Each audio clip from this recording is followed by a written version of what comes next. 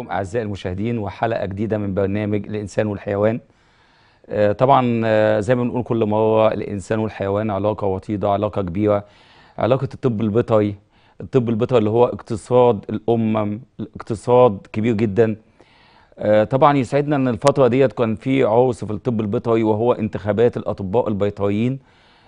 الحمد لله الانتخابات خلصت والحمد لله خلصت على على خير خلصت على تغيير كبير خلصت على يعني موقعة كبيرة واحتفالية كبيرة. آه، بيسعدنا النهارده إن إحنا نستضيف آه، الدكتور آه، محمد عفيفي سيف عضو النقابة العامة للأطباء البيطريين المنتخب الجديد. وفي نفس الوقت دكتور محمد مدير المعمل المرجعي آه، بجمصة. آه، شرفنا يا دكتور محمد. أهلا بيك دكتور محمد. شرفتنا يا باشا. آه، طبعا آه، ال- الفترة اللي فاتت دي كانت كلها يعني هنقول آه، يعني فرح كبير في نقابة الأطباء البيطريين آه، حدث آه، كبير. طبعا تولي نقيب جديد وهو نقيب عام الأطباء البيطريين دكتور خالد سليم وهو إن شاء الله هيبقى معانا في النص التاني من الحلقة. يعني إن شاء الله هو هنستضيفه في النص التاني مع دكتور محمد برضه. طبعا ال- ال- الطب البيطري وانتخابات النقابة كانت يعني أول سنة السنة دي نلاقيها ليها طعم تاني. طعم تاني نتيجة إقبال الأطباء البيطريين يمكن ما يزيدوا عن 10000 آه، طبيب بيطري ودي يعني ما حصلتش النوبة اللي فاتت ولا اللي قبليها. يعني في حراك في الطب البيطري آه، في آه، شغل في مجهود مبذول لدرجة إن يزيد العدد إلى هذا العدد الكبير في في الانتخابات. طبعا بالنسبة لنا كطب بيطري إن شاء الله المستقبل قادم.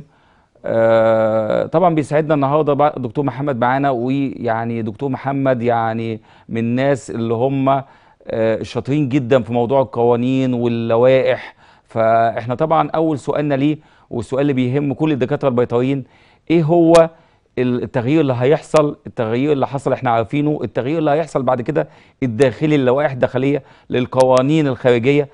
يعني عاوزين نعرف نبذة بسيطة كده عن الهدف الرئيسي اللي حضرتك هتشتغل عليه. أهلا بيك يا دكتور محمد وطبعا أهلا بالزملاء والمشاهدين كلهم. آه، يمكن السنة دي زي ما حضرتك قلت آه، سنة فارقة يعني 2020 ما حبيتش إنها تبقى دايما كلها كده ضلمة. 2020 وحضرتك رقم 20 وأنا كنت رقم بس أنا رقم 20 21. وأنت 21 وكان يهمنا فعلا إن حضرتك تنضم لينا لكن الحمد طبعا حضرتك موجود بإذن الحمد الله. لله وجايز بره إن شاء الله أقوى معاكم باذن الله إن تعالى شاء الله. يمكن السنة دي مع على الرغم من الانتخابات كانت في أغسطس تقريبا أسخن شهر في السنة. وعلى الرغم من الكورونا وعلى الرغم من تأجيلات كتيرة آه، لميعاد الانتخابات برضو أصابت الناس بالاحباط. لكن كانت المفاجأة الكبيرة هي العدد ضخم جدا اللي نزل في سابقة تعتبر يعني تاريخيا إن الناس دي كلها تنزل وفي يوم عمل آه، كان في حب وود الناس كانت تنزل. يعني تقريبا بنتكلم بما لهم حق التصويت ممكن نقول في حدود حاجة و40 50 ألف يعني تقريبا اللي نزل ما بين ربع إلى آه، خم... يعني ممكن 20% من إجمالي اللي لهم حق الانتخاب. تمام. فده رقم كبير. ولو حضرتك تتذكر إن في السنين اللي فاتت على مدى من بداية أول انتخابات كانت في 2011 كنا دايما ال... الرسالة اللي بنقولها للزملاء الأطباء البيطريين انزل وشارك ايا كان المرشح اللي أنت عايز تديه. الزخم الانتخابي الموجود والكثرة العددية اللي موجودة يوم الانتخابات اولا بتدي رسائل كتيرة جدا إن دي مهنة مهتم بيها أبنائها مش هاملينها. لكن لما يبقى في انتخابات يحضرها 2000 طبيب أو 4000 طبيب بالكتير هتدي رسالة إن الناس مهملة المهنة نفسها. تمام. النهارده في رسالة كبيرة جدا للمجتمع وللدولة ولمتخذ القرار إن هذه المهنة أصحابها مهتمين بيها وأصحابها عندهم طموح لتطويرها وامال لتطوير هذه المهنة وتطوير كل ما يخصها بقى سواء من لوائح وقوانين زي ما حضرتك بتقول سواء من قواعد لتسيير العمل فيها ومزاولة العمل وإعادة هيكلة المنظومة بالكامل فيما يخص الطب البيطري. يمكن هرجع لسؤال حضرتك. إحنا عايزين نعمل إيه في الفترة اللي جاية خاصة فيما يخص التشريعات القوانين؟ الناس صراحة مستنيين يعني من التغيير اللي حصل آه. ده مستنيين كتير كتير. يعني آه طبعا ال- النقابة اللي فاتت أو المجلس اللي فات إحنا بنشكره برضه آه، إن هو اشتغل وعمل وهو كان بداية الحوار ده. صحيح ما عملش كل ال ال ال الأطباء آه مطلوب أو طالبينه أو في بعض الحاجات الفينش بتاعها ما كملش وده برضه فهم طالبين المزيد والمزيد. يعني حضرتك ال- الأطباء مستنيين يعني في المية. بالظبط. هو يمكن أول خطوة لازم تتم هما خطوتين خطوة داخلية وخطوة خارجية. الخطوة الداخلية الأول إن لازم مجلس النقابة يعمل كاملا بالتيم ورك آه، موضوع الصراعات الداخلية والكلام ده كله بإذن الله نحاول إن إحنا نصفيه. الأهم من ده كله خالص بقى فتح قنوات اتصال ما بين النقابة وكل الجهات التنفيذية والدولة في مصر. للأسف كان في فترة طويلة جدا كان في انقطاع لهذه القنوات الاتصال. نتيجة برضو سوء آه، نوع من الإدارة أو التواصل أو الكوميونيكيشن اللي كان موجود. ونتيجة برضو ال ال ال ال آه، عين بعض الأشخاص على الصندوق الانتخابي أكتر. يعني بالظبط. كان بعض الناس موجهة توجهها للصندوق الانتخابي وبالتالي ممكن تقول تصريحات أو تقول آه شعارات معينة تعجب الناخب اللي هيدي صوته لكن في النهاية ما بتؤديش لفتح قناه اتصال بينها وبين الدولة. تؤدي إلى انقطاع هذه القناة ولو كانت حتى موصولة قبل كده بتؤدي إلى ان متخذ القرار ممكن يحس لا أنا مش عايز حاجة من نقابه الاطباء البيطريين وزي ما بيقولوا إيه ابعدوا عننا. فلكن الفترة الجاية محتاجين إن إحنا نفتح هذه قناة الاتصال ننفتح على كل جهات الدولة نبدأ مرحلة جديدة من التعاون ولازم برضو وإحنا بنتعامل مع الدولة نتعامل بمنطقية ال win win situation إحنا مش في حلبة مصارعة. مين هيغلب التاني ريست ومين هياخد التاني لمس أكتاف؟ اطلاقا. مصلحة البلد عاوزه إيه؟ في البلد ليها توجهات وليها سياسات واستراتيجيات أوكي؟ وفي نفس الوقت النقابة والمهنة لها مطالب وطموح وأمال. ولازم نوصل ان إحنا الاثنين في مركب واحد. وإحنا الاثنين لينا مصلحة وهدف واحد وهو مصلحة الطبيب البيطري والثروة الحيوانية والدولة. ما احناش في صراع. مش مين يكسب الجولة. أنا كسبت الجولة من ال من ال من الهيئة ولا كسبتها من الوزارة ولا من الدولة؟ لا اطلاقا. إحنا في النهاية في مركب واحد يهمنا المصلحة العامة تمشي في الآخر. وأسلوب الحوار نفسه دكتور محمد. وهو أسلوب الحوار. أسلوب الحوار. ال ال ال الأهم من عدالة القضية كيفية عرض القضية. يعني ممكن شخص يكون عنده حق لكن ممكن بيضيع حقه مثلا في إنه فلنفرض مثلا اتنين جيران اتخانقوا مع بعض. ممكن صاحب الحق يضيع حقه نتيجة إن هو آه، صوته عالي صوته شوية عالي. اتخانق شوية آه، شتم الطرف الآخر المعتدي عليه. يعني هو صاحب حق وضيع حقه. بالظبط. تيجي نيجي نقعد مثلا قاعدة كده نتفق مثلا ونشوف مين الغلطان هنلاقيه ضيع حقه. ما نعرفش نديله حقه اللي هو بتاعه. بالظبط كده. نتيجة سوء تصرفه أو سوء عرضه للقضية اللي هو بي بي بيتكلم عليها. فالأهم من عدالة القضية كيفية عرضها. كيفية بنائها على أسس علمية منهجية. آليات معينة آليات. تتحط. أي أي مشكلة لازم نطلع في جذورها أسبابها إيه. عشان نحلها لازم نأصل ليها الأول. وبالتالي يبقى إحنا خلاص عرفنا أسبابها. نقول والله أسبابها واحد اتنين تلاتة. ولما نعرض برضه ما نقولش أنا عندي المشكلة. لا أنا عندي المشكلة وعندي اقتراحات لحلول هذه المشكلة. بحيث برضه متخذ القرار أسهل له الموضوع. إنه ما يبقاش طب أنا أعمل إيه؟ طب أنتوا عايزين إيه؟ وأطراف أخرى تخش في الحوار فت- فتفسده. لا والله المشكلة أهي وإحنا نقترح واحد اتنين تلاتة. بحيث إن متخذ القرار برضه يقدر ياخد القرار وهو مستريح وهو. حاسس إن هو إحنا زي ما بنقولوا في win win situation كل الأطراف كسبانه هي دي الأساس. ويتاخد ملف ملف يا دكتور محمد. ملف ملف. ما افتحش 10 ملفات أقول عندي 10 ملفات ال 10 ملفات هم أنا عاوز كذا. هت... هتبقى الأمور بالتوازي برضو لكن هيبقى في هنركز في اولويات أولويات. لكن مش هنمسك في حاجة واحدة بس ونستنى إنها لا. تخلص ما ممكن الحاجة دي تعطل لكن هنكمل في اللي بعدها وفي اللي بعدها. بس بنفس المنهجية دي مم. ده ال- ال- اللي نامله بإذن الله سواء م- مع سياده النقيب دكتور خالد أو مع ال 24 زميل في النقابة العامة وطبعا النقابات الفرعية النقابات الفرعية جزء أساسي مكمل لينا وبتعمل زخم كتير أثناء ما إحنا بنتفاوض في أي شيء ال- ال- المهنة يعني يمكن اقتبس جملة السيد الرئيس إن المصريين لم يجدوا من يحنوا عليهم. الاطباء البيطريين برضو للأسف لم يجدوا من يحنوا عليهم خلال السنين اللي فاتت. ال- المهنة تقريبا إحنا من المهن القليلة قوي اللي ما طلعناش في مطالب فئوية منذ 2011 لغاية النهارده. ما عملناش أي مظاهرات ما عملناش أي إضرابات وبنشتغل في صمت وبنعمل مجهود في صمت سواء من قبل حتى كده من أيام إنفلونزا الطيور مرورا بالحمى القلاعيه مرورا بلجان التحصين ال- ال- الشبه آه، أسبوعية وشهرية مع الزملاء مع العجز العددي اللي موجود ومع ذلك الناس بتشتغل وبتؤدي دورها وفي صمت. ده دليل على الحب والانتماء بالظبط. آه للبلد وان إحنا شايفين مصلحة البلد لكن لكن هذا أولوية. لكن هذا الأداء برضو محتاج من يحنو عليه. بالظبط. آه. لازم برضو نظرة أخرى. شوية حقوق. يا- شوية حقوق ناخدها. وأمال وطموحات. مش مش لشيء هي مش مطالب فئوية لكن اللي هي لاعاده الهيكلة بشكل جيد. وعشان برضو الطبيب البيطري هو بيشتغل يشتغل كويس. ما ينفعش الطبيب في, في, في وحدة لوحدها وفي بعض الأطباء بيش- بيشرفوا على وحدتين في نفس الوقت. يبقى هو كل حاجة في الوحدة. يبقى هو بيبص على نقطة الذبيح الصبح ويرجع لوحدته ويبقى تيجي اللجنة بتاعة الحملة القومية للتحصين يطلع في اللجنة بتاعة التحصين. معهوش هيئة معاونة.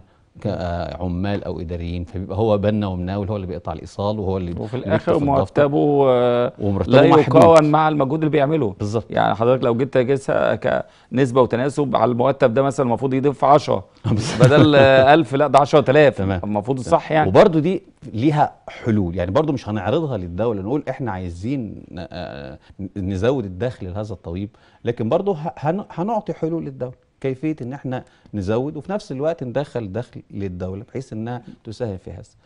ال- ال- ال- الجزئية المهمة زي ما حضرتك بتقول لسه كنا بنتكلم على التشريعات واللوائح. إحنا مهنة. شغالة بلوائح وقوانين بعضها آه، مر عليه 50 سنة وبعضها الآخر مر عليه 70 سنة وأكتر. فبالتالي ما عادش يعني بقت اولد فاشون ما ينفعش إن إحنا نشتغل بنفس اللوائح والقوانين في 2020 وأنت طالب. أبسطها خالص. لما نيجي حتى نتكلم على القوانين المنظمة لمزاولة مهنة الطبيب البيطري نفسه اللي صادرة من منتصف الخمسينات لا تصلح بكل حال من الأحوال دلوقتي مع التطور اللي موجود مع التطور العلمي مع مجالات العمل الكتيرة للطبيب البيطري في مختلف المجالات مع وجود دخلاء مهنة من كل حدب وصوب سواء كانوا مهنيين أو غير مهنيين في بعض الأحيان الكثير ومفيش عقوبات رادعه عليه.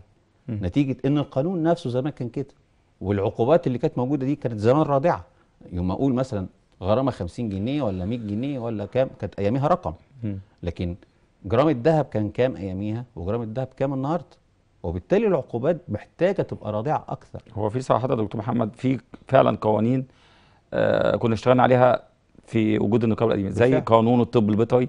وخد جلسات كتير جدا بين الهيئة والوزارة وال وكل والجامعة وال والنقابة و- وحاليا محطوط من 2009 بالظبط. وحاليا موجود مم. فده لازم يتضغط عليه لازم لازم يصدر قانون للطب البيطري ورقم اتنين برضه ويساويه في نفس الأهمية قانون مزاولة المهنة. بالظبط. وده موجود برضه. واتعمل عليه شغل جامد وجلسات وقعدات قانون النقابة نفسه. لائحته التنفيذية نفسها اللي صدر سنة 69 وكان قبليه القانون اللي قبله سنة 49 ما كانش اتغير كتير يعني مجرد إضافات للاتحاد الاشتراكي وبعض الحاجات اللي زي كده. لكن في في كلا القانونين سواء بتاع 49 أو 69 لا مر عليه فترة زمنية طويلة وما عادش مناسب تماما لأطباء بيطريين مصر حاليا اللي مقيد منهم في النقابة ما يقرب من 73 ألف طبيب بيطري وفي في حسب تقديراتي الشخصية 20 أو 25 ألف لم يتم قيدهم حتى الآن من الخريجين الجداد. فلا إحنا مهنة قوامها 100 ألف طبيب بيطري محتاجة قوانين جديدة brand new سواء في ما يخص ال ال ال النقابة وتشكيلاتها وآليات الانتخاب آه، و- أه، حضرتك إحنا الزملاء نزلوا بالكثافة دي ومع ذلك في زملاء بيقول لك غيروا لنا يا جماعة في الآليات الانتخاب عشان تبقى أسهل. زودوا لنا مقرات ما تبقاش في العاصمة بس تبقى ممكن أكتر من مكان في. الجمهورية. عاوز لوائح. آه، كل ده محتاج تغيير أول في القانون واللائحة لأن هو ألزمني بشكل انتخابي معين. فلازم أغيره. بعض الزملاء كانوا يقول لك يا ريت تشوف لنا حاجة online voting okay بس برضه لازم أغير لأن القانون ألزم. التصويت في المقر في القاهرة وفي المقرات الف- الفرعية بالمحافظات. ففي آلية معينة لازم الأول أعدلها عشان تمام. أسهل إجراءات كتير. ودي من أولويات حضرتك يعني أنا عرفته ان دي من أولويات. حضرتك. بس أنا برضه ليا نظرة أنا والزملاء ال- مش أنا لوحدي طبعا يعني أنا- طبعا تيم وورك ده أساسي. آه برضه ليا نظرة في الموضوع ده شوية. حضرتك قلت طبعا يعني من الأولويات برضه إن لازم علاقتنا مع السلطات التنفيذية ولازم نظبط الدنيا. في نفس الوقت برضه علاقتنا مع باقي النقابات المهنية واخد بال حضرتك؟ وأهمهم حاليا لحضرتك أنت دلوقتي تتجه ناحية القوانين واللوائح. عاوز علاقة يعني شديدة جدا وأخذ مشوره ما خاب من استشار آه، نقابة المحامين. نقابة المحامين كرمز واخد بالك للانتظام وال والقوانين وال معلش الانضباط واخد بال حضرتك؟ ف- فممكن حضرتك آه، دكتور محمد سيف مع دكتور خالد سليم لقاء مع نقيب آه، المحامين. ناخد شوية من استشاراته. أنا شايف صراحة في ضعف في الناحية القانونية. وقامة فكرية عالية جدا آه. جدا. يعني حضرتك وهو مش هيتأخر. يعني عارف إن هو آه، معطاء وبيقعد. وكمان إحنا نقابة وكنقيب آه، هيستقبلكم وهتقعد مع حضرتك ودكتور خالد بحيث إن إحنا نوصل باللوائح الداخلية بتاعتنا إلى أعلى مستوى نوصل بالنقابه بتاعتنا إلى أعلى انضباط. واخد بال حضرتك؟ فدي برضه فرصة إن إحنا لازم علاقتنا بنقابة المحامين نقابة الزراعيين النقابات المهنية اللي هي إيه تقدر إن إحنا نعمل معاها تعاون. لأن إحنا آه، زي ما حضرتك قلت كان في شبه انغلاق. فلازم يبقى في انفتاح. انفتاح مع النقابات الأخرى وانفتاح مع اللي عنده السلطة التنفيذية. نجاح آه، في في في مهنته آه، هنطبقها عندنا. إحنا مش. هنخترع العجلة. أو الموضوع تمام. يعني ما هوش يعني كيمياء معقدة جدا أو رياضة بحتة. لا في في أمثلة نجاح في حاجات كتير. في نقابات مثلا آه، آه، قدرت إنها تنظم مهنتها وتمنع دخلاء المهنة بخطوات معينة. هنستفيد من هذه التجربة. في بالظبط. نقابات أخرى اجتهدت جدا فيما يخص زيادة الموارد وزيادة ال- ال- ال- ال- ال- الميزانية الخاصة بها بما يخدم أعضائها. نستفيد منها. في نقابات أخرى استفادت فيما يخص الجانب الصحي والاجتماعي لأعضائها. هنستفيد من التجربة. لازم ننفتح على الكل بالظبط. سواء كانت نقابات سواء كانت مؤسسات مختلفة حتى في الحياة الحزبية لازم ننفتح برضو على ال ال ال البرلمان ومجلس الشيوخ لأن إحنا محتاجين الفترة ديت كده لأن عشان بالظبط. نعدل يبقى لازم يكون لنا ظهير سياسي جوه و- وبرضو هنهتم جدا مع في الفترة اللي جاية للزملاء اللي هيكون لهم نصيب في إن هم يخشوا مجلس النواب هننزل معاهم وندعمهم لأن. دولت هيبقوا الظهير بتاعنا بإذن الله الفترة اللي جاية. وبدعو كل من هو صاحب آه، ثقل في في منطقته الجغرافية من الزملاء الأطباء البيطريين إنه ينزل وتقدم ال- ال- الصفوف إنه ينزل مرشح في انتخابات مجلس النواب. القادمه وهننزل كلنا وراه. وندعي له وهنشوف الزملاء اللي في كل قرية لأن الطبيب البيطري بيخش كل بيت بالظبط. يعني أحسن فرد يعمل دعاية للانتخابية لأي عضو مجلس نيابي هو الطبيب هو البيطري. الطبيب البيطري. لأنه عارف ال- ال- الحاج إبراهيم ومراته اسمها إيه وبنته اسمها إيه وعنده كام آه، آه، فرخة وكام آه، ثروة حيوانية. عارف كل حاجة عارف التفاصيل دي كلها وبيدخل البيوت كلها. يعني الوحيد اللي يقدر يخش كل البيوت. فمحتاج من الاطباء البيطريين برضو اللي شايف في نفسه القدرة والثقل المجتمعي في مركزه وفي قريته وفي محافظته ينزل ويتقدم الصفوف وجود حضراتكم جوه والحمد لله إحنا في مجلس الشيوخ برضو كان لنا نصيب. الحمد لله لبعض الزملاء نجحوا. الشرقيه واخدة طبعا آه، يعني طبعا اثنين أطباء بيطريين. دخلوا في ال- بالظبط. فإحنا الشيوخ. محتاجين ده يتكرر بقى في مجلس النواب. ثم بعد ذلك في المحليات. إن شاء الله. لازم يكون لنا تواجد لأن ده هيسهل كتير أمور علينا. حتى في المحليات اللي اللي- الزملاء اللي يكونوا في المحليات في مجلس محلي محافظة وقرية ومركز دول هيساعدوا النقابة الفرعية. هيكونوا هم برضو ظهير يساعد. حد زميل في عنده مشكلة ما هو مش النقابة بس اللي هتشتغل. عندنا مثال في محافظ دمياط. بالظبط. ف ف ف وجود ال ال ال الأشخاص دول في الأماكن دي هيسبب زخم كتير جدا للمهنة وهيساعدنا كتير في الفترة اللي جاية في الأربع سنين الجاية. هي تاني نقطة يا دكتور برضه أحب نلقي عليها يعني نظرة عامة الأطباء البيطريين آه يمكن وصلوا سبعين ألف آه مقيد. آه مقيد. آه، آه. آه. آه الناحية ال- آه، اللي هو العمل وسوق العمل آه الفرص قليلة. آه أنا كان ليا نظرة لسه يمكن حتى كاتبها على الفيس اللي هي المشروعات. هو هو يعني السبيل الوحيد دلوقتي يعني نكون نعتمد على تعيين حكومة أو عين 100 عين 200 500 ألف لا تذكر بحيث إن إحنا قدامنا طريق تاني خالص اللي هو المشروعات. ويمكن دلوقتي مشروع البتيلو آه أنا حاسس إن هو يعني ما فيهوش قوة شوية. حاسس إن طبيب البيطري هو اللي هيديله القوة. بس برضه عاوز تعاون بين حضرتك كنقابه وبين وزارة الزراعة. إن هي وزارة الزراعة توفر لنا تدي للخريج تدي للناس اللي هي الأطباء البيطريين اللي ما تعينوش أرض. وليكن كل واحد 5000 فدان يبتدي إن هو يعمل عليها مزرعة عجول البتيلو دي. واخد بال حضرتك؟ لو 1000 طبيب بيطري عنده قدرة إن هو يعمل المشروع ده واخد بال حضرتك؟ تحت برضه رعاية الدولة. واخد بال حضرتك؟ يبقى عندنا أقل حاجة 10000 مزرعة فهيحصل آه، طبعا ازدهار في الثروة الحيوانية وهي حضرتك في النقطة دي ويعني برضه إيه حلول سريعة حوالين أنا نقطة. ال- اولا النقابات المهنية آه، اختراعاتها البشرية اولا لتنظيم احتكار المهنة اولا وضع شروط لممارستها وإيجاد فرص عمل لمنتسبيها فده أساس. بعد كده بقى يأتي بقى إيه جزئية ال- ال- ال- التعليم والتدريب والتطوير والملاءه المالية والصحية والاجتماعية للأفراد. لكن في الأساس هي خاصة بالمهنة ومزاولة المهنة. مزاولة المهنة. ده ده, ده, ده أهم حاجة في النقابات. المهنية. فطبعا بتشمل بقى كل مجالات المهنة سواء كانت جزئية حكومية ودي نسعى فيها لكن في خطة دولة. بنسعى فيها مع الدولة. مفيش. مشكلة فيها. خاصة برضو لازم زي ما بقول لحضرتك العرض الجيد للمشكلة. يعني إحنا العرض مش نقول إن إحنا عندنا عايزين نعين عشان لمجرد إن هذا التعيين حق للناس لا.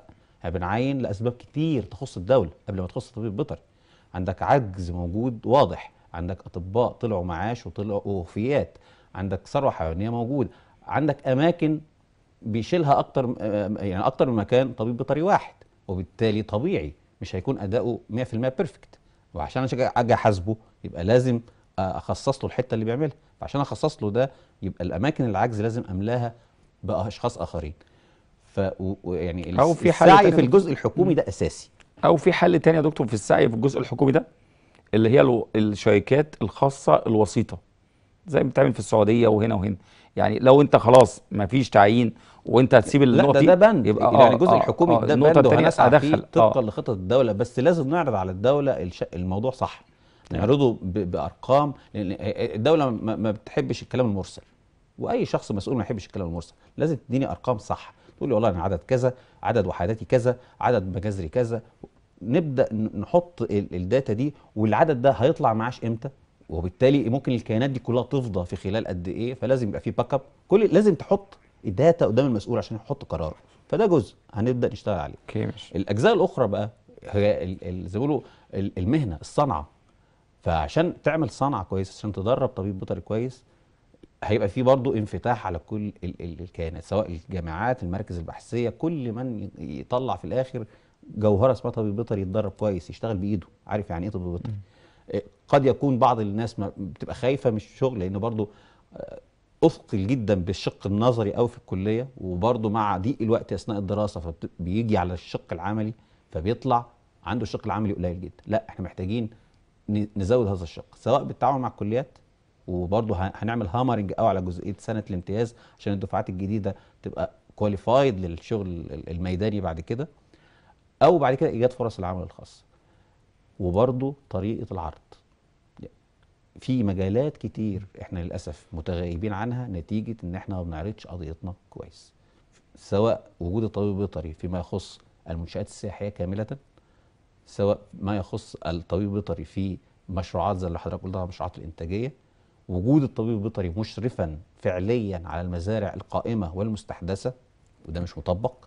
وده برضو من الحاجات اللي ممكن تطبق بشكل جيد الفترة الجاية مع وجود علاقات جيدة مع كل جهات الدولة. يعني هي الأساس زي ما بقول لحضرتك إن إحنا نفتح علاقات جيدة وقنوات اتصال جيدة مع الدولة. بدونها أنت مش هتقدر تشتغل. تمام. الفكرة برضه اللي بقول لحضرتك عليها اللي هي يعني آه، نقطة الحكومة والدرجات الخالية والكلام ده حضرتك كده بتسعى فيه. آه، نقطة المشروعات أوكي. في نقطة تانية حضرتك بالنسبة للتنظيمية بالنسبة حتى ال- ال- المزارع وال- والمطاعم والحاجات دي آه، في في السعودية بتبقى شركات وسيطة بين الحكومة وبين الجهات دي بين مثلا مطاعم يعني مثلا زي منطقة القاهرة كلها. بيبقى في شركة بتيجي بتعتمد مثلا في آه، وزارة الزراعة أو في عندنا في الهيئة العامة للخدمات البيطرية. الشركة دي بتبقى مسؤولة عن مطاعم داخل القاهرة. ال- الحكومة بتحاسب الشركة دي والشركة دي بتعين فيها أطباء بيطريين تكفي المنطقة كلها. فدي برضه يعني نقطة المفروض إحنا نحطها كخطه لينا واخد بال حضرتك متوازية مع يبقى عندنا ثلاث خطط. خطة اللي هو زي ما حضرتك قلت بالنسبة لموضوع الدرجات الخالية والعجز ال- الحكومي. ده حضرتك ماشي فيه. النقطة اللي هي الثالثه اللي هي نقطة عمل المشروعات وال- والحاجات الخاصة. النقطة الثانية وهي فكرة جديدة خالص ومعمولة في معظم دول الخليج والسعودية اللي هي نقطة عمل شركات بيطرية وسيطة. كل حسب تخصصه. بالظبط. المزارع الدواجن يبقى في شركات خاصة بالإشراف على مناطق القاهرة للمزارع الدواجن آه، ال- نشوف ال- التجربة بالظبط. يعني زي لسه قلت لحضرتك. إحنا هنشوف التجارب الناجحة في أي مكان. خلاص. والله لو دي تجربة فعلا أثبتت نجاحها وموجودة وثابتة ولها أقدام و- وموجودة خلاص هنشوف التجربة ونعرضها برضه. معانا اتصال آه، تليفوني. آه، اتفضل. دكتور حسام اتفضل يا دكتور حسام. السلام عليكم. عليكم السلام ورحمة الله وبركاته. أنا الدكتور حسام عبد الرحيم آه، خريج آه، 94 أهلا وسهلا. آه، الأول اسمح لي أهني آه، دكتور خالد آه، حلمي سليم على منصب النقيب العام. ربنا يعينه يا رب ويوفقه لما فيه مصلحة البلد في الأول. طبعا تحياتنا للدكتور محمد عفيفي وهو راجل يعني مشهور بأعماله النقابية من زمان وساعدنا به إن هو الحمد لله نجح السنة دي. وبيمثل الشريحة الناشطة القوية من جيله داخل النقابه أشكرك. آه، أعتقد إن كلكم تتفقوا معايا إن في ملفات هامة جدا آه، تهم الدولة تهم الاقتصاد وتهم الطبيب ال- البيطري ومن أولها ال paramedics. آه، الدكاترة البيطريين في مصر بيشتكوا شكوى كبيرة جدا من تدخل ال- ال paramedics في شغلهم والحقيقة ده حقهم طبعا في المقام الأول ال- النقطة اللي خافيه عن الناس إن ال paramedics دول بيخسروا الدولة ملايين سنويا بتدخلهم في ال- العلاج للحيوانات لأن ال- الفلاح اللي بتموت له جاموسة مش هو اللي فقد لوحده 12 أو 13 ألف جنيه ثمن الجاموسة أو البقرة لا ده اقتصاد الدولة. نفسه فقد. هذا المبلغ قيس بقى كم الحيوانات اللي بتنفق سنويا نتيجة تدخل غير المختصين في ال- العلاج البيطري والأدوية البيطرية وحط تحت غير المختصين دي ألف خط لأن هم ممكن يبقوا ناس كتير قوي من تمام. مهن تانية حتى بي بي بيقحموا نفسهم في علاج الحيوان وده بيخسر الدولة ملايين الملايين سنويا. ده غير طبعا إن هو بيضيع حق الدكتور البيطري في مهنته. آه، حضراتكم في دول قريبة جدا مننا جغرافيا إنتاجها الحيواني لا يتعدى واحد في المية من الإنتاج الحيواني المصري وعندهم قوانين صارمة صارمة وبتطبق بحذافيرها ومفيش تهاون فيها. في في تدخل غير الأطباء البيطريين في الإنتاج الحيواني. وبتصل لحبس والغرامات بتوصل ل غرام. ألف عملة من العملة بتاعت الدول دي. أنا مش عايز أقول بالتفصيل هي إيه. لابد من وضع قوانين ولوائح قوية وتطبق. إحنا مم. حتى القوانين واللوائح الحالية لا يتم تطبيقها. البيطريين نفسهم أول ناس متغاضيين عن حقوقهم. في إدارات بيطرية تابعة لمحافظة القاهرة مظبطة مع صيدليات بشري جنبها إن هم بيجيبوا اللقاحات والأمصال والعميل ياخد اللقاح أو المصل من الصيدلي البشري يدخل بيه للإدارة البيطريه حضرتك والإدارة البيطريه تحقنه للحيوان بتاعه في مقابل إن هو بيدفع كشف 30 جنيه. هل ده يعقل؟ الاطباء البيطريين نفسهم هم اللي بيساعدوا فئات ومهن أخرى إن هم يتاجروا في امصال ولقاحات يعني حتى مش في أدوية عادية مش ازازه جينتامايسين مثلا ولا حاجة لأ ده أنت بتتكلم في أمصال ولقاحات. طب الصيدليات دي جابت الأمصال واللقاحات منين؟ عشان كده يا دكتور إحنا إيه؟ عشان كده يا دكتور إحنا في نقطة يمكن سواء مع دكتور محمد اللي هي إنشاء التفتيش البيطري اللي هو موازي للتفتيش الصيدلي. ودي حاجة إن شاء الله يعني بالعلاقة مع الجهات التنفيذية هتتعمل عن طريق النقابة. هيبقى في التفتيش البيطري الدوائي واخد بال حضرتك؟ إن شاء الله دي من ضمن النقط. بالنسبة للنقط اللي حضرتك قلتها تاني اللي هي القوانين فإحنا لسه برضه متكلمين مع دكتور محمد اللي هو تغيير اللوائح والقوانين وفي نفس الوقت هناخد خبرة نقابة ال- المحامين هنقعد مع السيد نقيب المحامين بحيث إن هي تبقى فعلا حاجات تنفيذ. يعني أنا شايف إن برضه النقابة عندنا نقابة الأطباء البيطريين طول الفترة اللي فاتت الشؤون القانونية والناحية القانونية فيها ضعيفة. فإن شاء الله بتولي دكتور خالد سليم ودكتور محمد سيف وبالاستعانة بخبرات نقابة المحامين والسيد النقيب المحامين إن شاء الله في حاجة هتطلع. يعني هقول لحضرتك إيه يعني حاجة هتبقى قوية لدرجة إن كل المشاكل اللي حضرتك بتقول عليها دي هتتحل إن شاء الله. دكتور اسمح لي ده ال long term plan اللي حضرتك بتتكلم لا على لا ما بالعكس ده ده ده ده. ده, ده هم هياخدوه في خطوات سريعة.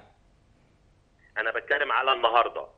لما يبقى زمايلنا في إدارة بيطرية بيسمحوا بإن حاجة زي دي بتحصل يبقى إزاي الناس النقابيين اللي زي حضراتكم هي هيقدروا يقاوموا هذه الموجات من من من المخالفات؟ إذا كان الطبيب البيطري نفسه بيساعد غير المهنيين في إن هم يتدخلوا في عمله.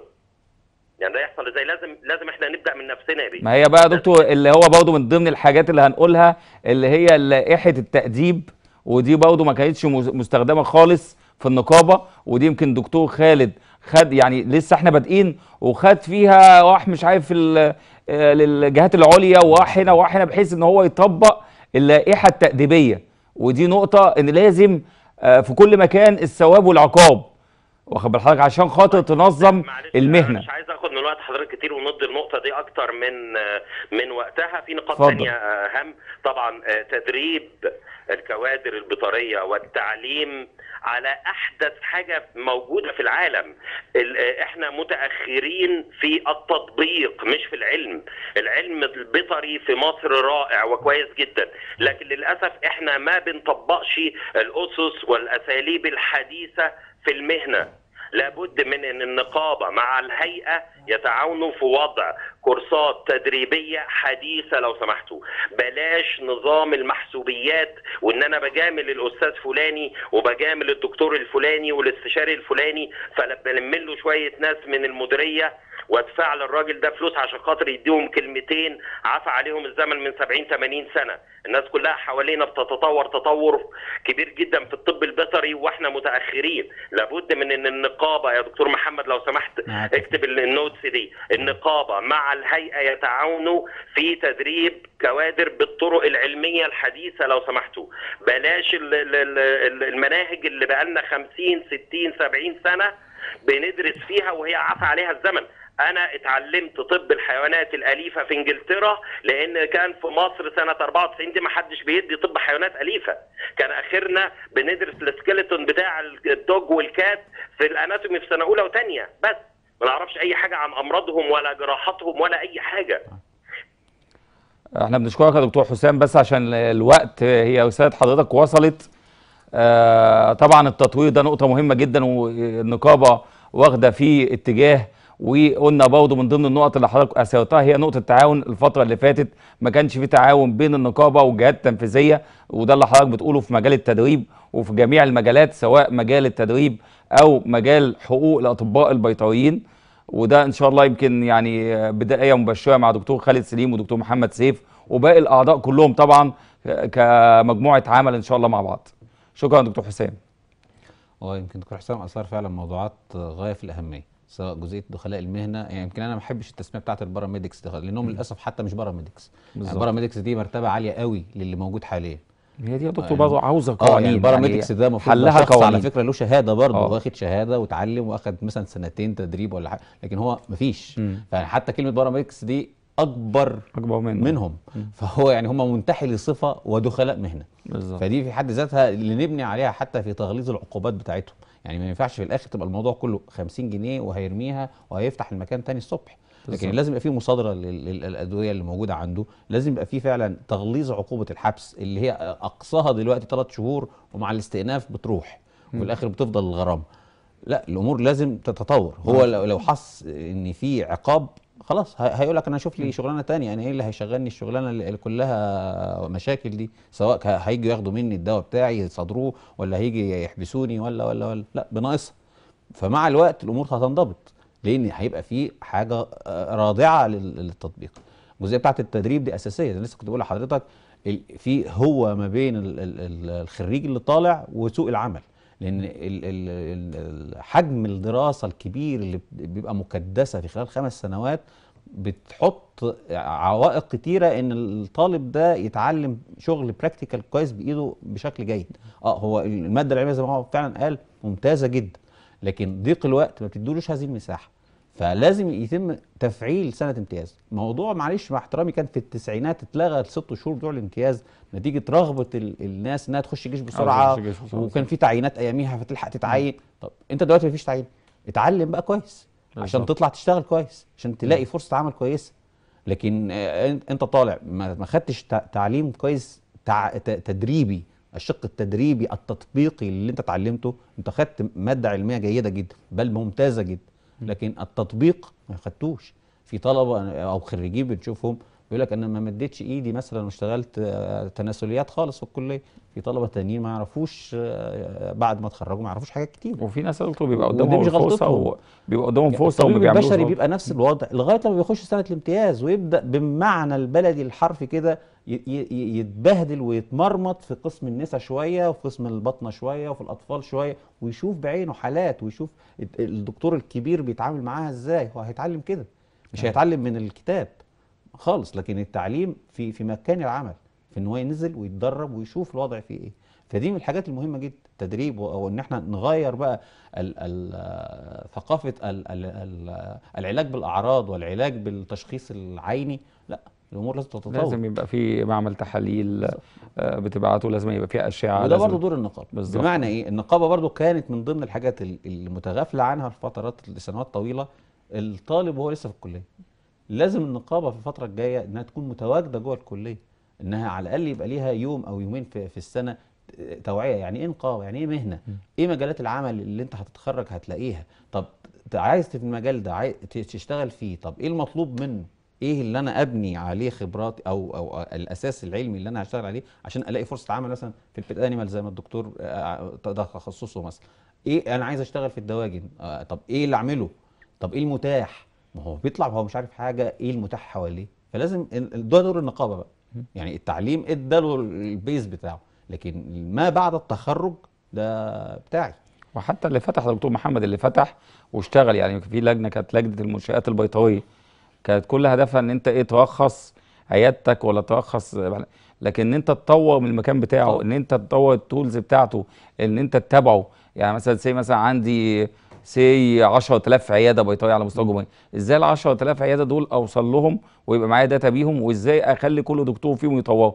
ما هو ده برضه عامل من العوامل اللي أنت هتقضي بيه على ال paramedical عندنا برضه؟ حاجات كنز ما حدش واخد باله منهم كتير. وخاص بالدكاترة البيطريين بس. وهو برنامج دعم الطبيب البيطري اللي كان اسمه زمان برنامج البيطرية. خاص آه. اللي هو برضه آه، ما بين قوسين خاص ده بيمول مشروعات بيطرية فقط وللطبيب البيطري فقط. بالظبط. آه، آه، وفي مجالات خدمية أو إنتاجية. الخدميه بقى العيادات مركز بيع الأدوية الفندقة البيطرية التلقيح الصناعي المعامل كل ما هو يخص الشغل المهني يعني. والحاجات الإنتاجية المزارع بأنواعها. ودي حاجة كتير من الشباب وكتير من طلبة الطريق مش عارفينها. يعني انت فتحت اوريدي عيادتك عايز تطورها عايز تجيب جهاز سونار مثلا عايز تجيب آه تلحق بيه معمل تشخيصي عشان يساعدك في شغلك. مثلا اشتغلت دواجن وعايز تطور شغلك لأن ما ينفعش برضو إنك تشتغل مجرد تشريح ومقص وعينيك. لا ال ال دلوقتي ال- الأمراض كلها متشابهة. تفتح وممكن يجي ثلاث دكاترة على نفس ال ال ال الطائر اللي قدامك كل واحد هيقول تشخيص والثلاثه صح. وممكن كمان ال mixed infection تبقى موجوده فممكن يبقى الثلاثه كلامهم صح لكن لما تيجي تشخص معملي معمليين توصل للموضوع صح. دلوقتي الأطباء البشريين كلهم كده حضرتك أي patient بيروح لطبيب بشر- بشري يكتب له الأول list التحاليل. بالظبط. اعمل لي تحاليل فلانية والفلانيه والأشعة العلانيه عشان أقدر أوصل لتشخيص لـ accure صح. diagnosis وبالتالي أقدر أديك علاج يدي نتيجة. لكن هنشخص أو نعالج بمجرد أعراض ممكن الحالة تفلير معايا يبقى أنا برضو سمعتي هتبقى غلط. فتطوير الأداء مهم وتطوير الأداء حتى لو حضرتك لسه شاب في مقتبل العمر مثلا والملاءه المالية عندك مش كتير في حلول أخرى تبدأ تشوفها في الحته اللي زي كده. ممكن التكامل ما بين أكتر من واحد مع بعض وبرضه في الحالة دي هتبقى تمويلهم أفضل وأعلى. فيطوروا من أدائهم. تحط مثلا تلقيح صناعي تحط سونار تحط عايز تعمل آه، آه، جزء من العيادة كشق جراحي محتاج له أدوات محتاج له الأشعة والحاجات دي كلها. هتجيبها تقدر تجيبها. وتطور أدائك وتطور طريقة تشخيصك وبالتالي اسمك هيبقى مميز. ودي تول من التولز اللي انت تقدر بيها تثبت اسمك وتخلي أي دخلاء مهنة حواليك مع الوقت خلاص يروح. أصل هيجي فين جنبك بقى؟ انت راجل بتشخص صح عندك أدوات صح عندك غرفة عمليات كويسة معقم شغلك تمام. خلاص. يبقى انت برضه دي هتحارب ال- الجزئية دي مع القوانين. يعني مش هنسيبها لمجرد رغبة الطبيب في تطوير نفسه أو لا لكن لازم برضه مع القوانين إن إحنا نقول والله من يمارس المهنة؟ له اشتراطات. حضرتك من ضمن هذه الاشتراطات ولا لا؟ تمام. ومن دلوقتي الزملاء اللي مديين أساميهم لدخلاء مهنة مع احترامي ما تزعلوش من اللي هيحصل في الأربع سنين الجايين. بالظبط. عشان إحنا بنقول من دلوقتي أهو. لازم الالتزام. حضرتك وفق أوضاعك والغي ال ال ال الترخيص اللي حضرتك مديه لشخص بياكل خير مهنتك وفي نفس الوقت بيضرك وبيضر زميلك اللي هو. فاتح جنبه. فحضرتك أرجوك عندك فترة من دلوقتي يعني هندي برضو فرصة كده مع النفس حضرتك تفكر وتشيل هذا الترخيص اللي اللي محطوط لعم إبراهيم وعم أحمد والناس دي كلها. حضرتك اشتغل بمهنتك مهنتك فيها خير بدليل ان الناس دي واخدة ترخيصك باسمك وبتشتغل بيه. وأكيد بيكسبوا كويس جدا. حضرتك اشتغل بيها. انت اتعلمت مش عشان تقعد في البيت عشان تشتغل شغلانة تانية وتدي الترخيص لحد. لكن بعد كده هيبقى في وقفة. زي ما لسه كنا بنقول في لجان تأديب أيوه. هيبقى في آه، ت- تعليق لتراخيص مزاوله المهنة أيوه. هيبقى في إلغاء لتراخيص الأماكن دي أيوه. ما دام حضرتك مش موجود فيها. فمعلش ما حدش يزعل لأن أنا بنحيي مهنة وبنحافظ على حضرتك وبنحافظ على زمايلك اللي بيشتغلوا متضررين من وجود الكيانات دي. طبعا. فلا فيعني صحوا الضمير كده للشباب وللزملاء اللي مدين أساميهم يا ريت إحنا بدأنا نقابة جديدة بادئين سنة جديدة حضرتك ابدأ معانا عشان تبقى تلتقي الأمور ونحط إيدينا في إيدين بعض. هي في نقطة يا دكتور محمد برضه يعني الناس الزمايل بيسألوا فيها.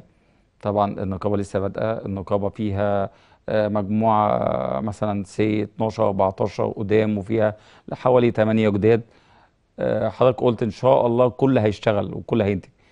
إزاي نوصل لل 24 24 صح؟ ونقيب؟ آه. 25 آه. 25 طبيب بيطري داخل نقابة الأطباء البيطريين. عاوزين نوصل إن إحنا نستفيد من ال 25 طبيب بيطري دول إن هم ينتجوا إن هم يشتغلوا كلهم إن هم كلهم يقدموا خدمات للأطباء البيطريين. إزاي حضرتك نوصل للنقطة دي؟ نوصل إن إحنا نحس بال 25 واحد. إن يبقى هدف الترابيزة كلها اللي موجودة آه، الطبيب البيطري. ده الأهم. ويعني ال- اللي هيبقى هدفه ده هيشتغل. اللي مش هدفه كده هيفضل قاعد. وفي النهاية إحنا كلها سنة ونص تانيين وفي تجديد نصفي. فلازم برضو ال- الكل زي ما بيقولوا إيه يقدم السي في بتاعته للاطباء البيطريين. وخلاص الموضوع بقى خلاص. ده ال- الناس بتنزل بكثافة. النهارده 10000 في ظل حر.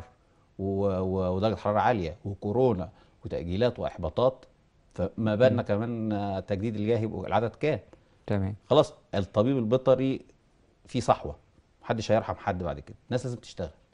ودي فرصة لإن الكل يبدأ صفحة جديدة مع مع الأطباء البيطريين ونبدأ نشتغل كلنا لصالح الطبيب البيطري. سؤال تاني سريع برضه عشان وقتنا يعني برضه دي من ضمن الأسئلة المتداولة يعني للأطباء البيطريين. آه الشركات اللي بيشرف عليها الاتحاد أو الشركات اللي تبع الاتحاد الشركات اللي تبع نقابة الأطباء البيطريين.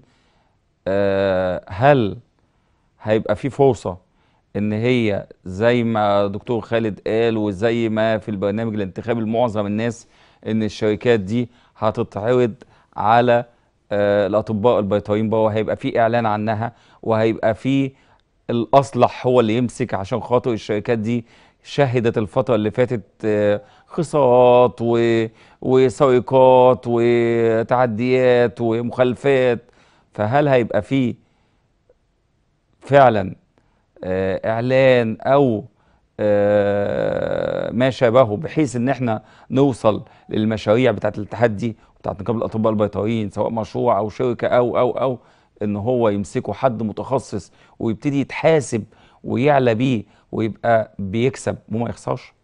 هو بس أنا هتحفظ على كلمة واحدة قلتها في السياق ال- الجميل ده كله وهي كلمة سرقات لأن دي اللي يحددها مش أنا ولا حضرتك ده في الآخر النائب العام والمحكمة. لكن أو هل, خسارات هل في سوء إدارة؟ خسارات. آه في في كان في سوء إدارة واضح. هل كان في إهدار بشع في الأموال؟ أيوه كان في إهدار بشع في الأموال. لسبب يعني أنا مثلا حاصل على أعلى أصوات في في آخر انتخابات. هل ده معناه صدق كده أو شيك على بياض ده أنا أكتر واحد بفهم في الدنيا. لا ال- الناخبين وضعوا ثقتهم فيا بأعلى أصوات لأنه شايفين إن هذا الرجل قد يكون آه، آه، جيد في ادائه النقابي لكن ده مش معناه إن أنا بفهم كل حاجة في الثروة الحيوانية وبفهم كل حاجة في التصنيع الدوائي وبفهم كل حاجة. اطلاقا. وبالتالي ال- اللي موجود جوه مجلس النقابة آه هو بيدير المشهد. لكن عشان تحط بقى شخص جزء التكنيكال الفني لشركة لشركة معينة فانت لازم تجيب المتخصص فيها. اللي هو مش بالضرورة يكون واحد من ال 24 أو ال 25 الموجودين ف يعني ده التوجه. لكن آليات بقى عمل ده إيه؟ فهو يعني أنا أنا لست عضو في الاتحاد حتى هذه اللحظة فأنا ما ما أقدرش إن أنا أقول هيتم كذا. اللي هيبقوا موجودين في الاتحاد ايا كان أساميهم هيعرضوا هذه الرؤية. طبعا واحد منهم أكيد طبعا بدون النظر يعني لنتيجة تشكيل هيئة المكتب هو النقيب. لأن بحكم ال- القانون هو نائب رئيس الاتحاد. وهو عنده هذا التوجه ان ان إن آه، كل هذه الكيانات تتم من خلال إعلان يتقدم له ذوي الخبرة والكفاءة في المجال ده. حاجة لها تصنيع دوائي يتقدم للناس الخبرة في هذا المجال ويقدموا. proposal يشوفوا action plan بتاعتهم هعمل إيه. والله أنا والله هعمل واحد اتنين تلاتة في خلال ست شهور هعمل كذا في خلال سنة هعمل كذا وبالتالي حاسبه. لما يبقى الم- ال- ال- المرشح الناجح عضو مجلس النقابة.